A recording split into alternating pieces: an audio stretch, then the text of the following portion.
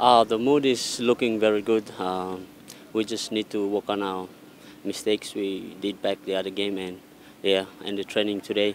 It's determined for us to play on Saturday. Yeah, it's difficult, but uh, our boys, I think, the more time we get and for the training and stuff, yeah, I think we'll work on it. Uh, it's very important for us because uh, we've never been there uh, back home, so we have to play our best to win, so we can take the game, go back to our homeland.